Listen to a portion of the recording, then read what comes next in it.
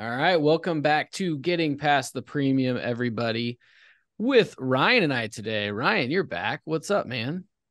I am. It's been a while. I'm It happy to be here. It's good to see you. And, uh, with us uh, today, we have Sean Brooks. Sean, how are you doing today? I'm doing great. Elliot Ryan, wonderful to be with you. Excited to have a, a conversation with you here today. Yeah, I'm looking forward to it, man. I think you're going to provide a really good perspective for a lot of our listeners out there. But just to set the stage, why don't you kind of give everybody the the background on who you are, what you do today, um, and then we'll we'll jump in. Yeah, thanks for the opportunity. Um, so currently I work with a firm called Buckingham Strategic Partners. I'm the divisional manager for the central region of the United States. And really what that means is I'm working with uh, the top RIA uh, firms across the Midwest, helping them in a number of different ways, not only with things like investments in back office and technology, but just thinking about the scalability of their enterprise, their enterprise value, the client experience they're delivering, and really all the ways that they're making an impact from a financial planning perspective for the clients that they serve. That's awesome. Yeah, that's awesome. I think what you do on a regular basis is a lot of what we talk about, you know, firms needing to do in the risk management side of the industry, right? Uh, Mhm. it's all it's all one big conversation, but I think it's important that we recognize where the financial services industry has gotten versus where we're at with the risk management industry. Um, and Ryan, I don't know if you have any perspective on that being in the financial services side, but Yeah, we've talked about that a lot, right? About I don't I don't necessarily know why. I have mm, uh, thoughts around why the financial services industry is uh more advanced, if you will, than the risk management space in terms of how advice is delivered and how they've made this transition from being more transactional to more holistic and um, advisory base. But regardless, Sean, I I look I've I've been looking forward to this conversation. I think you bring a unique perspective when it comes to working with a bunch of different advisors across the country. And I think there's a lot that can be gleaned from your experience by being in these folks' shops and you know taking best practices and things out of those to make everybody else better. So I mean, uh, if you don't mind, I'd kind of like to start just around the service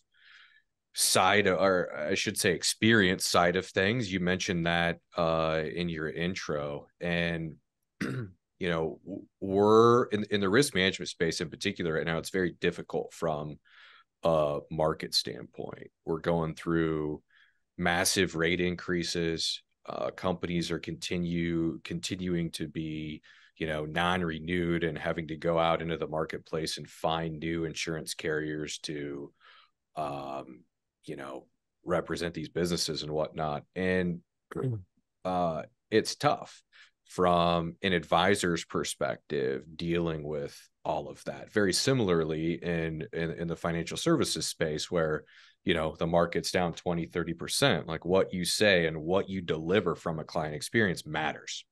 So with that being said like um kind of walk us through what you've been seeing lately from a client experience perspective on the wealth management side of the business that's been helping you know elevate relationships on your end Yeah, I think that's the key word there relationships, right? I mean, that drives everything, especially in the financial advisory space, right? Getting to know the potential client, understanding their their vision, their values, their goals, really what they're trying to accomplish that's outside of just uh, the commas and, and decimal points that they have on their statements, right? So it really does come down to relationships. And those relationships can sustain for 10, 20, 30, 40, 50 years, depending on if you're helping children and the next generation. So having that personal connection and developing that relationship is is key to everything related to the client experience. Now, there are a lot of different layers to the client experience and happy to kind of dig into those different things. But I don't know if you've ever read or have heard of Dennis Moseley Williams uh, or the book, uh, The Experience Economy. Yeah. Just thinking about, you know, what are we really providing, right? Is it a service versus an experience? Now, one comes at a premium in terms of what, what people are willing to pay for, right? Dennis likes to use the old Starbucks analogy. Analogy. You go in there, that's more than just a cup of coffee, right? So if we think about how this might translate to either the risk management business or the wealth management business, whatever the case might be, the successful advisors that I'm working with are really thinking more than just, hey, can we do the basics? It's can we do the basics, do them really, really well, but then keep bringing more to the table. And that mm-hmm. experience is uh, all encompassing and can range outside of financial topics um, very broadly. So, just in a nutshell, that's kind of what I'm seeing, and happy to dig into that a little bit more. I think there's a lot to chat through in terms of what that client experience can mean, how to deliver it efficiently, keep that level of personalization and kind of uniqueness for each individual family that you're serving. Yeah, I'd love to dive into it deeper, and it's it's so crazy the correlation between the two industries, if you will, because uh, like I'd summarize what you just said a little bit into like value compression, mm-hmm. right? It's like they thought fee compression was going to start happening in the wealth management space. We haven't necessarily seen that, but it, it certainly has been like, what else are you doing for me? And in the risk management space, like commissions are set at the carrier level. Like we don't have any control over our income and fee structure from that perspective. So it literally becomes a, uh, uh, a, a conversation around can we provide can we be doing more? Can we provide more to our clients for the same revenue? And how do we do that um, in these markets? But yeah i'd love to have you continue to dive down that path between you know the difference between service and experience. Yeah and service and experience are, are two elements of you know what a client perceives but they are intertwined of course but they are different right I think about service and, just in terms of reducing the friction that a client may have, whether that be on a transactional side or, you know, even if, if it's a request that comes in from a client, let's say who, you know, needs funds out of their investment portfolio, whatever the case might be. The service aspect is based around responsiveness, being able to execute on an order, whatever that could be, right, regardless of the industry. And again, reducing that friction that the client has. They have some sort of pain point or need. Can you solve it? Can you solve it efficiently? Mm-hmm. The next step then is how do we turn client service into a good client experience? And that requires professionals to think forward and say, let's proactively identify what that next challenge might be. And while I'm in the midst of this service issue, the original reason you called or reached out, I can look forward and say, hey, to help deliver a better experience for you, I know that this is going to be that next issue you're going to face. Let's also address that as well. And that puts customers in the situation where they, they reach out for one thing, but then they're getting additional support. And man, that really elevates that experience, the feeling of, oh, they're really taking care of me and thinking about me in different ways if they're able to, able to kind of look forward uh, above and beyond what my original request was. That's so awesome. I think that separating service and experience is important, but again, they are intertwined. I think, mm-hmm. you know, in the risk management space, there's um, some thoughts and right people in the industry have, you know, it's all transaction based. And I think in the financial advisory space, there are some uh, feelings from clients as well that, you know, they're just collecting X percent on my dollars and really don't care about me. Right. So it's mm-hmm. always for financial advisors about bridging that gap of what's the perceived value and what am I actually delivering and do they match up? And I think that can be a difficult task for advisors sometimes who you know know a lot of the work that they're doing to help clients but do their mm-hmm. clients actually feel that? Are they delivering it to clients in a way where it's front and center on a continual basis to eliminate some of that shadow work that goes on in the background? Yeah it's not oh, enough to just tell the client anymore either. You're right they have to feel it experience it see it you know yeah. know that you're doing things differently.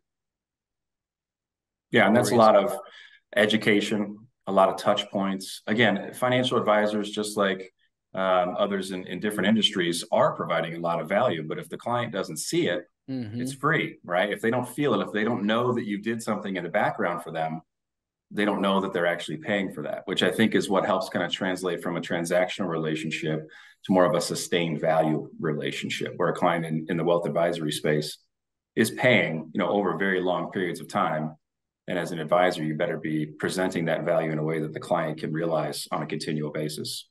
Mm-hmm. Totally. Do, you think that's a lot of times due to we just assume that the client knows what we're doing?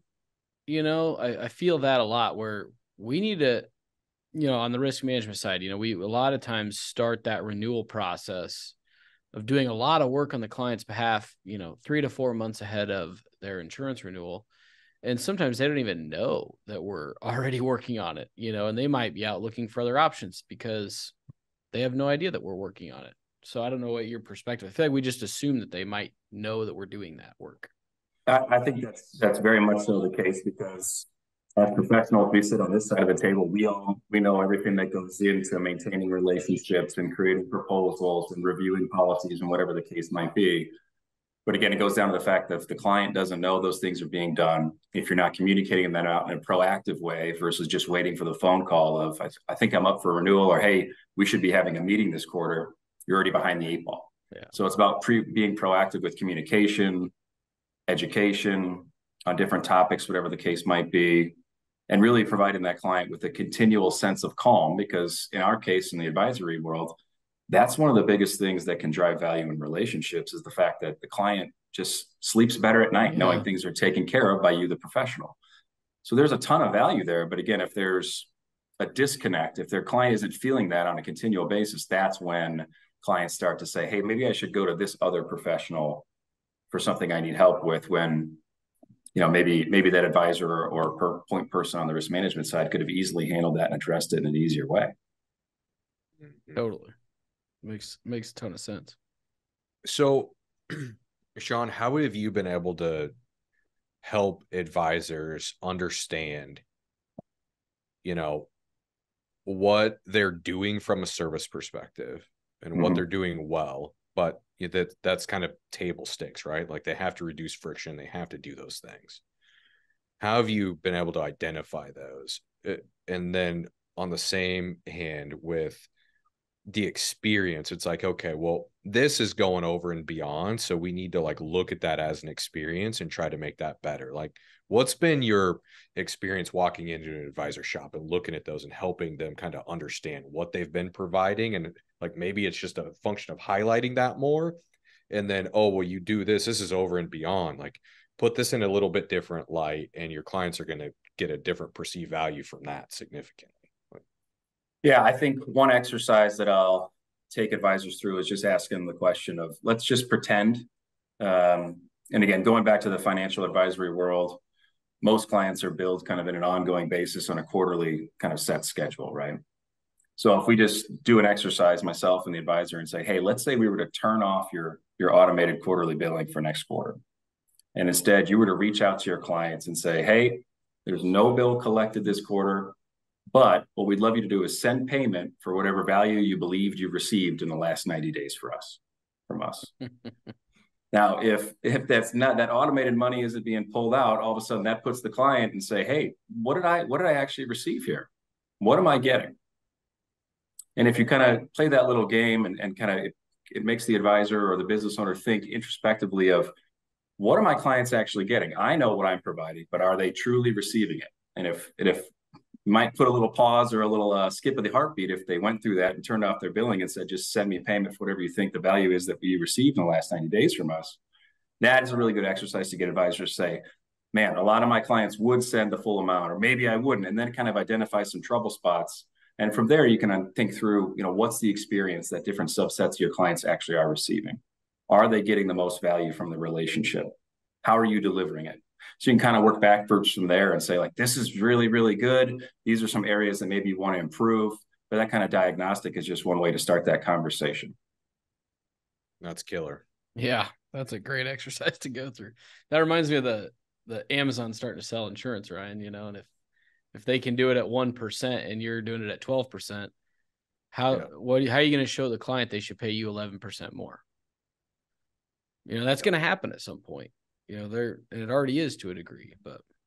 Yeah in the advisory space there's just so much noise right? Same as in risk yeah. management. There's all these different offerings and clients are you know bombarded with the, the price is lowest here and we have the best service and it gets very very confusing. Mm-hmm. in the advisory space specifically there are very large name firms out there that can offer basic portfolio management and oversight from a planning professional at an extremely low cost. Now it's more of a call center it's a little bit more of an automated experience. The difference between what those firms charge and what you know a true relationship and a real financial advisor can deliver, that delta there is essentially what clients are paying for. Yeah. It's that personal relationship and the fact that you aren't getting automated messages every month. It's more personalized, more tailored. And then again, that's where the thought of a client experience and being able to deliver that, that's what's so important.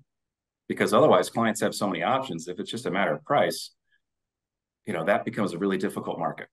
Yeah. Which, you know, I think a goal for every one of us is to take it off of price. I mean, exactly. It is clearly a factor, but we don't want it to be the factor. Yeah, absolutely. They always say what cost is the issue. Cost is an issue uh, in the absence of value. There's there's yeah. some great yeah, saying there that yeah. I just butchered, but you know it's true. you it's, nailed it actually. Pretty, yeah, pretty something like that. Sounded good. If you just would have rolled with it, nobody would. Yeah. yeah. Thanks.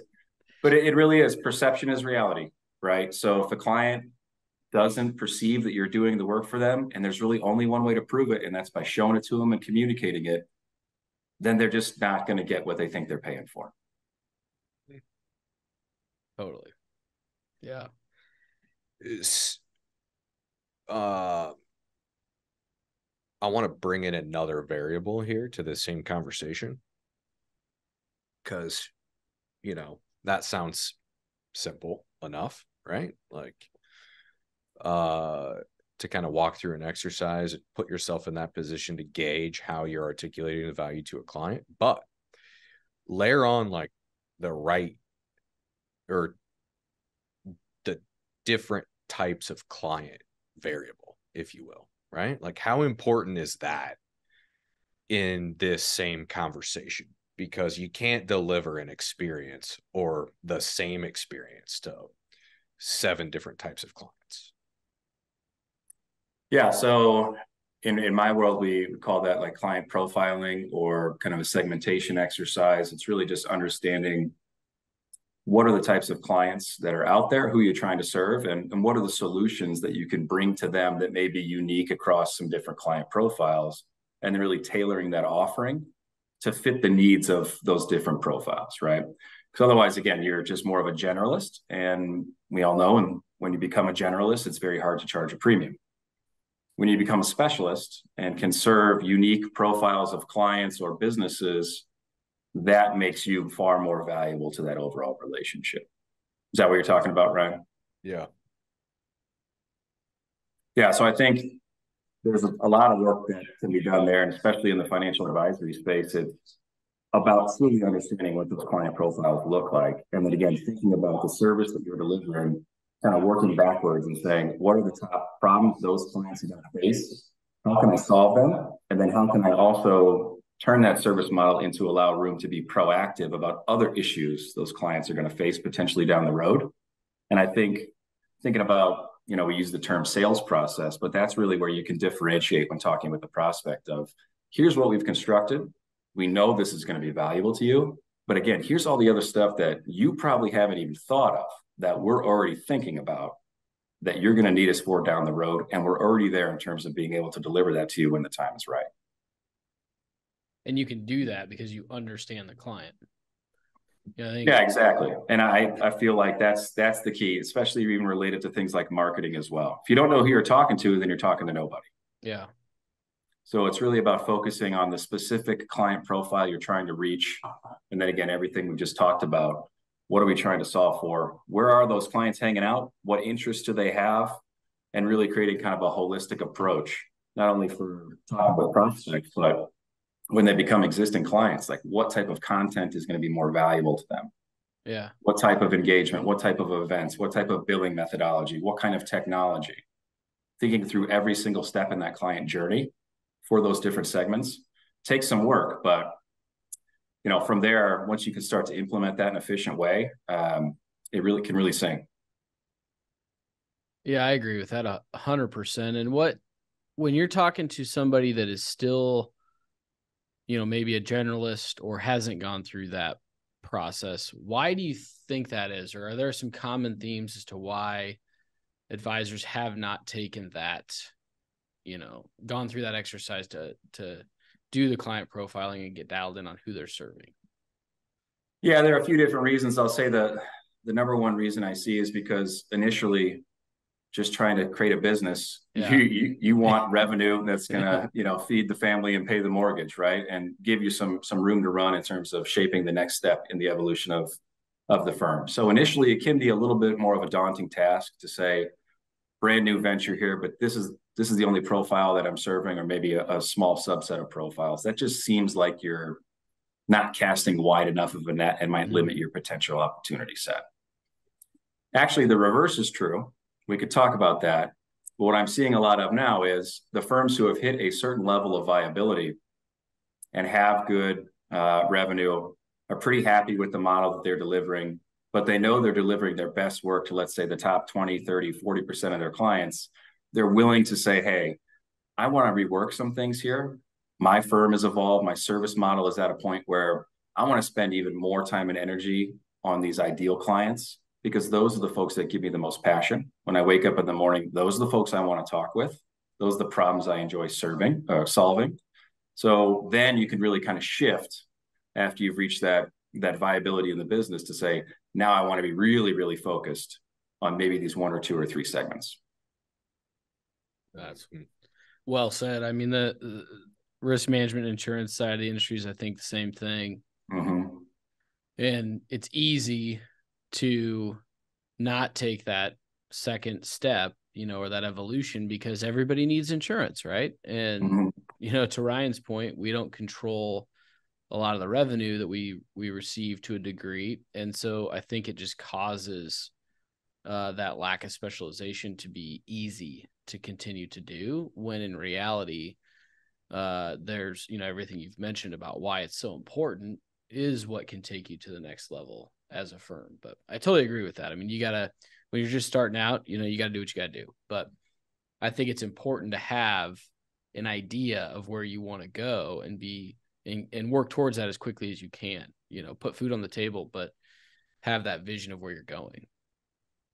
Yeah, I think I think that the more laser focused you are, the earlier on in the business venture on who exactly you want to serve. I mean, I can think of firms like like Apple. Like Apple came out and stated, we're not for everybody, right? Yeah. We're this kind of cool, punky tech company, and it's more than just a phone. And they sold kind of that image and that brand, right? Um, Tesla, Tesla, they're not for everybody, right? Not everybody needs an EV or even likes, you know, yeah. the style of the car. But guess what?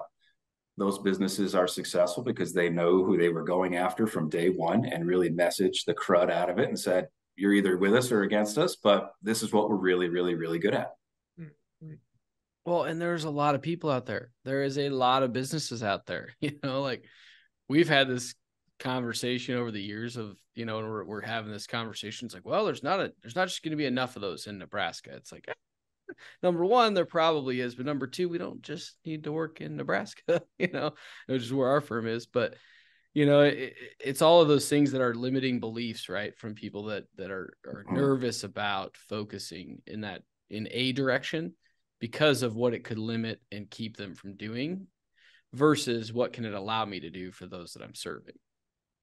Yeah, it's, absolutely.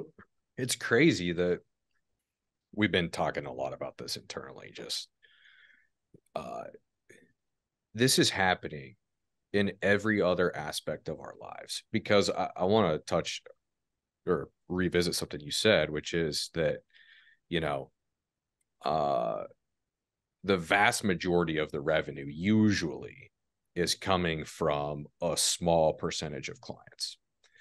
And you're, in essence, taking, you know, value away from those uh, top clients that are paying the majority of the revenue to provide a certain experience to the ones that are not right like that's and so this hit me the other day when nebraska's putting their just proposed a 450 million dollar renovation to the south stadium and i don't want to talk about football today but um let's get into it let's yeah go. right yeah well, we're uh, not very good, Sean. Catch me while we're down. so uh but we're cutting like 10,000 seats to enhance the experience and we're putting in more box seats and everything else and I was using it like guess who's donating the 450 million dollars? Like 250 million of it's coming from like a 100 different people. And they're in essence like catering. You cannot have the same seats. You cannot provide the same experience. You cannot provide the same view or vantage point to every single person in the stadium for the same price. You just can't do it. And but we, we don't we don't complain. We look at the price of the tickets and we're like, oh, well, I can't afford that one. So I'll take this one. And I know that I'm going to get that with this. So it's like when I think about different analogies like that, it takes me back to it's like we're just not clearly communicating good enough to the client on like what to expect. And then we just can't get out of our own way to actually go out and sit with that client and say, this is the only thing that you're going to get. Or maybe it's not the only thing, but here's here's what you're going to get for yeah you are. I'm I'm reminded of a phrase. Um, What's fair is not always equal. Mm. So somebody who comes in and your example, Ryan has a, a suite and they paid a lot of money for it to watch Nebraska play really really good football every single Saturday. You know they're going to get a little bit of a different experience than the folks who within their budget and what they like to do and maybe it's a tailgate and they've been sitting in you know section 240 for 30 years with their family. That's a different experience for them, right? They don't pay the same amount as the person who's got, you know, the uh, the valet parking and they're walking through the heated tunnels and they're going to the AC with the suite and all the food and jazz like that. So the experience is different, but that doesn't mean it's it's better or worse. It's just it's equivalent to kind of what they're paying for, right? So what's fair is not always equal. And I think if financial advisors, and in my case with who I, I work with quite frequently, kind of get some freedom around that expression and just say, I've got some top clients or I've got ideal clients here or a profile of clients here. Again, they might need a different service model. That doesn't mean one is better or worse. It just means it's relative to what they should be getting at this point in their lives with the complexities they're trying to solve. Have you ever seen anybody lay out options and let a client choose where they're at based upon how much they want to pay? Because sometimes I feel like that would, you know, in the risk management industry, that would obviously get more hairy. But where if you have three different models and they fit in the model where they're going to get a little bit of a stripped down version of what the top clients would receive, you know, but let them choose. If they want to pay more, then, you know, they could certainly get that experience. And then if they don't choose that and they're they're comfortable and they willingly go into the other option, then like everyone can have peace of mind that like, oh well, you know, they selected that. That's where they want to be, and that's what that's exactly what we're going to give them. Yeah, I think that is a, a great strategy, and actually one that I work on with RIAs across the Midwest. Just thinking through, again, going back to your point, what are the different service levels that you want to provide? And we see this across all different things, right? You can get uh, Disney Plus or Disney Plus with Hulu and ESPN Plus. Like, what's right for you? They come at different costs, right? So we're offered all these different options based on our perceived needs, and they have different. You know, every company has kind of different tranches of of what experience you're going to buy, right? So in the advisory world, you know, really thinking through and showing that client, hey, here's what we're going to deliver based on your situation. I think this is the best experience for you. If the client says, you know, step down or step up if appropriate, absolutely fine. The trouble spot there is then just to make sure that that client isn't kind of going through a scope creep and asking for services that are, let's say, upward in terms of what they're paying for. And they start asking for more and more and more and more, then you have to have that discussion with the client of, we agreed that this was the model that we're delivering. You're talking about things that are getting in a little bit more complex. And for the time and services and resources that requires, you know that necessitates a change in fee so it's just about being willing to have that conversation and educating the client on what they're set to receive and then really making sure you actually are delivering on that because the second you then deliver a lot less than what they think they should be getting mm-hmm. then the question is well why didn't i just pay for this lower let's say premium package right over here yeah there's a level to that too and there's a lot of psychology that goes into mm-hmm. you know mm-hmm. designing those levels to get where to put clients in the service model you want to get them into meaning like if you if you want to get them to the thousand dollar service you have a five hundred dollar service a thousand and a two thousand because you want them to fall in that middle one most of the time. Um, and there's a lot of i know i just saw a study about they went through uh, regardless of the size of drink that mcdonald's was offering the majority of people selected the middle drink a size regardless if it was big small and different uh, and I think that applies to a lot of things. You know, there's there's an anchor point that's high that they think, well, that might be more than I need, but I don't want the lowest end, so they go for the middle. I think it's slightly different in uh, our industry, you know, because you're doing a lot of complex stuff and and bringing a lot of different value to the client potentially but i think some of that still applies and that's more of a marketing technique and a sales technique but uh, i think that can be beneficial as well with a model like that yeah. I think i think you're right there. Behaviorally there are different um, a lot of science has been done in behavioral economics and why people make choices the way that they do. Some anchoring things like that different biases uh, that can come into play. But at the end of the day, what I coach advisors on is just making sure that the model that you want the client to get into based on what you know they need and how you can deliver to them will be a valuable experience. Yeah. should be what you lead with in my opinion so sometimes giving too much choice in terms of well we can do it this way or that way but here's the way i think you should do it and this is what i think is the best offering for you can create some of that confusion and then in those situations that's when we see kind of the the brain locks up in the decision making process and people become hesitant to lock themselves into one or the other because they don't necessarily know what questions they should be asking yeah. so another strategy is is really as the advisor and again that's what they're paying you for is that coaching and guidance is really kind of leading with the firm this is the model i've built out for people in your situation. This is how we pe- help people the best people just like you. Um, so there's a lot of conviction with that and i think that conviction can also be quite powerful as well. Yeah, it's great perspective for sure. And then, yeah, it, it, just to double down on that, you know, in with what we are delivering, um, I totally agree with you. You know, if you're delivering more of a commodity type service or something like that, you know, I think some of those behavioral based type of uh, mm-hmm. nuances are probably much more applicable, right? So, I, yeah, I think that's spot on. Spot on. Yeah, and just to build on that a little bit further, and we talked about you know client experience. And I know you've had Dan Allison on uh, yep. previous episodes with you, and I've known Dan for a number of years. It really his whole thing comes down to: Are you providing an experience that's referable in the first place? Yeah. So if we go back to the idea of generalist versus a specialist, it's harder to get referrals if you're a generalist mm-hmm. because your message or your experience might be a little bit diluted. Let's just say the customer isn't getting everything, let's say at 100% efficiency and kind of receiving all that value. The more specialized you are, the more laser focused you are on, again, who you're serving and how you're going to serve them. That creates a more referable experience because that client or customer is just getting, you know, 100% realization of everything that you're bringing to the table. Yeah. Yeah, so it's true. such a key component. It really I think is. the emotional side of actually driving an experience leads to that, you know, of people are that emotional connection, if they can feel the experience, if they can, you know, mm-hmm. know it's not, they're not equating it just to a financial transaction, uh, is going to stick with them a lot longer than, you know, a financial transaction.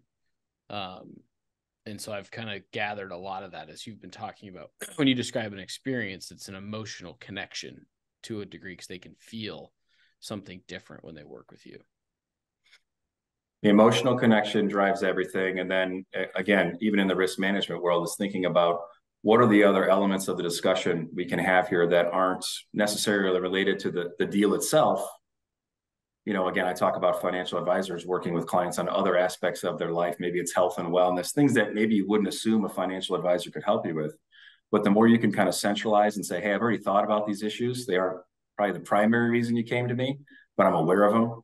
Yep. Have people I can bring in, resources, or I have expertise in these areas outside of kind of the core competency you think you're hiring me for. That then adds additional value, and that then increases the overall experience as well. Yep.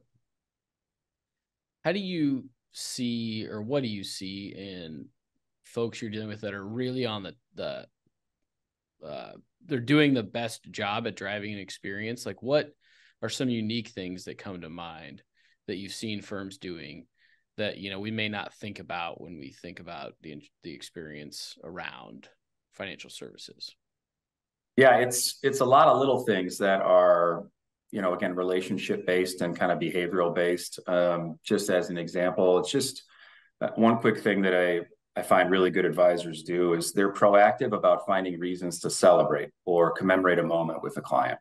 Doesn't have to be related to anything for why they're getting paid from that client, but it's, you know, hey, I know your son just got into uh, University of Nebraska and he's going to be a football player. Congratulations to you. Done a great yeah. job raising him. Here's a, a, sweatshirt, Nebraska dad, whatever the case might be. But doing so just unprompted and saying, "Hey, yeah. we're thinking about you." Now that requires the advisor to be listening, taking notes, maybe even using some technology or a, CRM system or something like that to keep organized and efficient with that. But the more reasons you can find to celebrate and kind of share in some joy with clients, or be there for them in times of need. Uh, that is is I think again going back to the idea that relationships drive everything. That's so so crucial, and and I think yeah. really impactful. You know, far more than just showing off different you know technologies and softwares and proposals and things like that, right? Because that that has a certain shelf life. Yeah, that's sweet. Yeah, it shows the not only the deep relationship, but that personalization that you have in it. You're listening, as you mentioned. I mean that listening has become such a uh, overlooked trait i feel like by industry professionals right like we just think we know what the client wants or should want we're not listening to exactly what they're saying and they can sense that they feel it you know it becomes every time you do that it becomes more of a product um, and the more that you're personalizing back to those conversations you know the things that you're talking about that just elevates you in their eyes big time there's a similar like sniff test to uh, Sean what you were describing earlier, just to kind of check yourself on this around um, being able to like we know we know that we're not going to be perfect in delivering a service or an experience. Things are going to happen. We're going to mm-hmm. screw stuff up. Like and uh, I think sometimes we're just so afraid to do that. And one of the reasons why we're afraid to do that is because we don't have that relationship. If we don't have the relationship, then we're scared to death that if we screw something up, they're gone. Mm-hmm. And so, you know, it's kind of a good, it's a good test. It's like, okay, so if you screw up big time, you know, uh, do they do they understand that it was an accident and that you do deeply care about them and you know can you overcome that? Or are they like well shit he doesn't know anything about me. He doesn't really care about me and they screwed up i'm out. Yeah that relationship equity will get you through a lot of speed bumps and hiccups. And, and i think in general clients are relatively understanding of those things. As you mentioned you know nobody's perfect. Um, so those things happen right? Uh, but without that relationship equity which takes it can take a long time to kind of build up and have that operate in a sustained way but that's the key. Again, this all goes back to relationships, especially in the financial advisory space. And I think um, in your industry and risk management, again, there's so much that can be addressed inside of the scope of that relationship that that maybe gets overlooked. That I think that the industry could kind of start paying a bit more attention to, just exactly like in the financial advisory space. I couldn't agree more about that. Yeah. I think the opportunity is bigger in the risk management space than in the advisory space. Well, we're starting, yeah, just starting to see the, and I mean, I know there's been firms doing this for a long time, so I don't want to uh, make it sound like we all are are transactional, but I think you're starting to see a lot of these conversations happening in the risk management space, which is encouraging. Whereas I think it's been happening in the financial services side of the industry for a long time. And we can take some cues from that, just like, you know, obviously you have or you work with folks on a daily basis just doing this, you know. Mm-hmm. Um, That's a good point. Yeah, good. I think everybody point, wins in that too, right? I mean, clients yeah. are going to get more, yeah. right? They're going to receive more value, um, and the professionals are going to be able to deliver that value and keep growing great businesses in that way. So again, the better the experience, the more holistic it is. Everybody wins, in my opinion. Yeah, it truly is like a dual approach because I don't want to take away from it, like there are advisors out there that have done a phenomenal job of creating a relationship with their client. But I hear all the time where like that is the entire value proposition too. Mm-hmm. Right. So it's like, well, I don't want to move my business. Why? Well, because I've been with Jim for 30 years. Well, what's Jim do for you? Well, I mean, he takes me golfing. Like we we hear that nonstop. And it's like, okay, well, does he do anything in relation to like providing you value for the amount of money you're paying him on an annual basis? Right. Uh, I don't know about that. So it's like, you know, it is a dual approach. You got to provide value from a service and experience perspective and relationship equity value, if you will. Yeah, absolutely. That's that's that relationship equity we were just talking about in that example you just described. I, I hear that as well. And was one of those things where you just have to work with that client, kind of provide some education with them on, on really what they should be receiving based on how you perceive their situation and how you'd help them overcome whatever problems or objectives they're working with.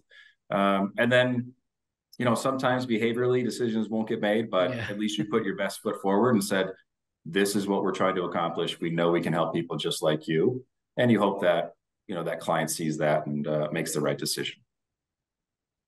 Yeah, absolutely. You can't. You're not gonna win all of them in that case, and sometimes it's frustrating because you're like, "Damn it, Bob, Bob, Bob, stop taking them going golfing, Bob. Come on." And uh, but that's that's been our industry. That's how people have been trained for a long time. So yeah, well, maybe you just uh, take them golfing twice as much yeah. as Bob's doing, yeah. and, and, then you've got that over them, yeah. and then then it's all the other stuff you finally get to talk about, right? So you never know. exactly. Well, hey man, we've been going for for a while here. What uh, else? Just kind of wrap up what we've been talking about. Is there anything that we didn't hit on? You know, from that client experience service perspective that you know you want to make sure you're talking about with everybody.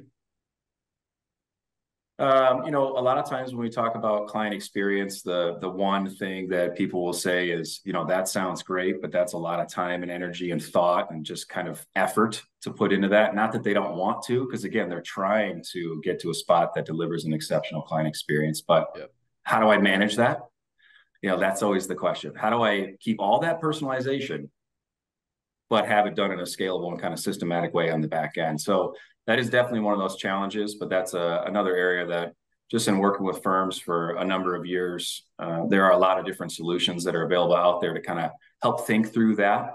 Because um, I think scalability and systematization of your systems and processes, that's really is what going to set you free yeah. so that you can maintain that high degree of personalization and then enhance the experience as we've been talking about today. So lots to think about, but uh, you know, hopefully that's that's helpful.